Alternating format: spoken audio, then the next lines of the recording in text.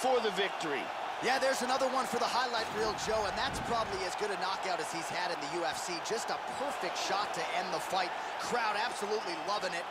Flush land to close out his opponent. I'm not even sure the other fighter saw it coming, so a big knockout for him here tonight on the biggest of stages. Take a look at this from a different angle. Lands perfectly, and that's the end. So there he is after a